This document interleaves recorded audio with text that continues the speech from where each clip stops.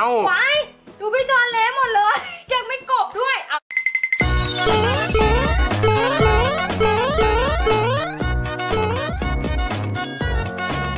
สวัสดีค่ะเป๋าผ่านะคะ สวัสดีครับจอนจินนะครับค่ะในที่สุดวันนี้ก็มาถึงค่ะ วันอะไร วันที่จะพาน้องทั้งสองตัวไปฉีดวัคซีนค่ะ ปกติเราเลี้ยงแมวมาหลาย ตัวมากๆ เราไม่เคยกังวลกับการฉีดวัคซีนเลย ครับ อันนี้อาจจะเป็นรุ่นเล็กสุดเนาะ ตัวน้อยสุดเล็กสุดหมายถึงตัวน้องนมเปรี้ยวอะ่ะเขาติดกันติดการป่วย ป่วยมาสองอาทิตย์ติดแล้วครับ เราไปหาคุณหมอทั่วอาทิตย์ทั่วอาทิตย์เลยเขาก็ไม่ดีขึ้น ไม่ดีขึ้นอีกตัวไม่ดีขึ้น อีกตัวก็พาติดกันไป ครับทำให้เป้าพาซีเรียสมากเลยเดี๋ยวนี้นะ ถ้าสมมติมีแมวเด็กเราต้องดูเพราะเขาโดนเข็มฉีดยาเข้าไปใช่ไหม แมวเด็กอยู่ใช่ไหม ก็ยิ่งทำให้เขาว่าป่วย หรือภูมิคุ้มกันเขาตกตกตกไงครับเขาก็ฉีดไม่ได้พอฉีดไม่ได้ปุ๊บไม่มีภูมิคุ้มกันอีกโรคใหม่เข้ามาแทรกอีก ก็ป่วยลงไปอีกอะไรเงี้ยน้องก็เห็นว่าน้องนมเปรี้ยวแบบสุดๆเลยต้องพ่นยา นี่ก็เป็นครั้งแรกที่ได้พ่นยาเด็กให้ให้เด็กพ่นยาให้แมวนะคะเพราะรู้ว่าแบบต้องใช้เครื่องหายใจ วันนี้สักทีหนึ่งสองตัวนี้จะได้ไปหาคุณหมอแล้วนะคะ เราก็ใช้เวลาเดินทางประมาณไปกลับกี่นาทีคะพี่จอน ไปประมาณ 40 นาทีครับ ไป 40 กับ 40 ครับ ประมาณชั่วโมงเกับสองชั่วโมงเนาะใช้เวลาอยู่ เราก็คิดเหมือนกันนะว่าแมวแมวเนี่ยเขาจะปวดฉี่ไหมระหว่างไปอะเราบางทีเราปวดฉี่ใช่ไหมแต่ไม่รู้ว่าเขาจะปวดหรือเปล่าอะไรอย่างเงี้ยเราก็เลยแบบว่าจะพาน้องไปทีละจะกังวลนะ ว่าเฮ้ยแมวปวดฉี่หรือเปล่าน้ถ้าองๆกเคดยอื้อขึ้นมาทำไงนี่ใช่ใช่น้องๆเคยมีคำถามไหมตอนแรกอะเลี้ยงแมวมาเยอะเราก็กลัวมากกะจะเอากระบะทรายไปด้วยเลย แต่เอาเข้าจริงๆไม่นะแมวเขาไม่ฉี่บนบนรถเลยอะเพราะว่าใช่มันโยกเยกโยกเยกเงี้ยเขาเขาไม่ไม่ฉี่ได้อะไรอย่างงี้เนาะโอเคปะเดี๋ยวถ้ายังไงเราจะพาน้องทั้งสองตัวไปหาหมอกันเลย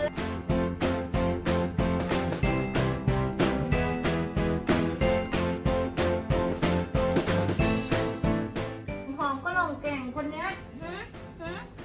หอมก็ลองแกง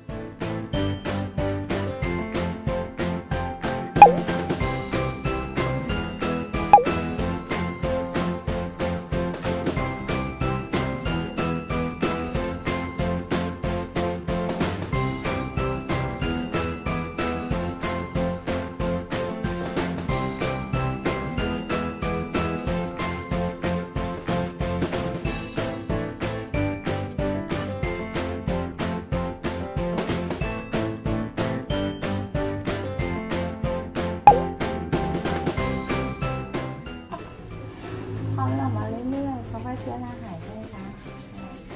เหมือนที่ชอยเล็กแบบโตขึ้นเยอะเลยลูกสองสี่สองสีก็สองสีกินยาง่ายคนเนี้ยอืมหนูหล่อแน่นอนถ้าหนูนิสัยเหมือนนิดเดียวเออใช่ไหมล่ะ คนอื่นมีแต่คนโหดร้ายแต่อันนี้กินยาก กินแล้ว พอปล่อยเท่านั้นนะสะบัดออกมา ต้องปอนกันใหม่พาทำอะไร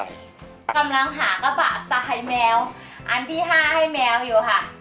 แมวเยอะขึ้นมากกว่าเดิมค่ะพี่จอ๋ออแล้วเป็นไงบ้างบ้าพาพานมคุงกับนมเปรี้ยวไปหาหมอโหตอนนี้สบายใจมากเลย สบายใจขึ้นมากเลยค่ะ เพราะว่าทั้งสองตัวไม่เป็นอะไร ใจโล่งอกมาก แมวเด็กนี่ต้องทะนุถนอมกันนิดนึงนะคะเราก็ใช้ทรายแมวของชาโคค่ะ นี่ มีพี่ๆน้องๆเข้ามาถามในเพจด้วยนะคะ พี่ พี่ดอนครับ ว่าเหมือนกับว่าเขาใช้แล้วเขามีกลิ่นอ่ามีกลิ่นเหมือนกับว่ามันมันไม่สะอาดอะ เหมือนกับว่ามีกลิ่นขี้แมวเยี่ยวแมวอะพี่ดอนครับเปิ้ลพาก็เลยแนะนำอย่างนี้ จริง ๆ แล้วอะต่อให้เราใช้ทรายดีแค่ไหนเราควรต้องเก็บทุกวันครับ ทุกวันใช่ ไม่ได้ เพราะว่ามันยังไงมันก็หมักหมมฉี่แมวอะทับทับทับทับทับกันสูงขึ้นอะมันไม่ได้แล้วอย่างนี้ไงก็ต้องเก็บทุกวัน เพราะฉะนั้นเขาก็เลยได้รับคำแนะนำไปว่าโอโอเค นี่ค่ะ ดูซิว่าแมวเด็กหรือว่าแมวผู้ใหญ่จะเข้าก่อนค่ะพี่จอนถ้าใครสนใจก็สามารถดูรายละเอียดใต้ล่างคลิปนี้ได้นะคะ เพราะว่าเราก็ใช้ยี่ห้อนี้ตลอดเห็นไหมพอเทแล้วมันไม่มีฝุ่นเลยใช่นี่นี่เอาละเอาทุกคนอ้าวสนใจทีเนี้ยของใหม่ขห้อองงใหม่น้ำใหม่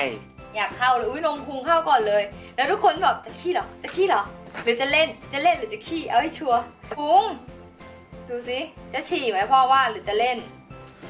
เวลามีกระบะทรายอย่างนี้แมวชอบเหมือนกันนะใช่แมวเด็กชอบ เป็นมัทรายเป็นทรายทรายๆอะไรอย่างเงี้ยเวลานมคุงฉี่ฉี่เขาจะแบบชิดมากเลยนะ ฉีดชิดมาก เออเอ้า เอาน้องไม่สิเอาน้องออกก่อนเอาเอาเล่นแล้วพี่จอนดูคึกมากพี่จอนคึกใช่สุดเล่นวิ่งกันวุ่นทั้งวันเลยๆใช่วุ่นทั้งวันนั่นนั่นนั่นน้องเอาทรายออกมา ดูพี่จอนเลอะเลยดูดูดูดูดูจะฉีดกระบะก็มีคู่อยู่แค่นี้เอง ใช่ น้ำพุงกำลังฉี่อยู่ครับน้องใช่เปรี้ยวไม่สนใจขุดอยู่ ขุดเหรอลูก โอ้ทรายใหม่ โอ้ยเอ้าเอ้าฉีดเสร็จหรือยังอะเอ้าไว้ดูพี่จอนเละหมดเลยยังไม่กบด้วย เอานึกขึ้นได้พี่เอ้าจอนนึกขึ้นได้เอายังไม่ได้กบลืมกบลืมกบเอ้าแม่นางนมหนีไปแล้วโอ้ยอะไรอะเละหมดเลยพี่จอนเห็นไหมเราถึงต้องทำกระบะทรายที่มันเป็นโดมขึ้นมาไงครับก็แพงไงเราก็ใช่เลยต้องทำ อันนี้เราทำไปสองสามอันแล้วนะยังมีอันอื่นนะ ถ้าเราอยากให้เรา DIY สอนก็บอกได้เนาะคอมเมนต์ใต้ล่างคลิปนี้ได้เลย มันจะมีกระบะอีก แบบหลายรูปแบบอะมันต้องเหมาะกับการใช้งานของเราด้วย บ้านไหนเลี้ยงแมวหลายตัว อืมควรที่จะมีกระบะทรายแมวหลายอันใช่ แล้วก็วางหลายจุด ใช่แล้วก็เก็บทุกวันใช่เก็บทุกวัน เพราะว่าจะป้องกันกลิ่นดีที่สุด ใช่เพราะว่าเหมือนกับ เหมือนมีของเสียอยู่ในบ้านอะค่ะ ถึงเราจะเอาผ้ามากบ เอาอะไรมากบไม่กินออกอยู่ดีใช่ทางที่ดีที่สุดก็คือเก็บทุกวันครับ เช้า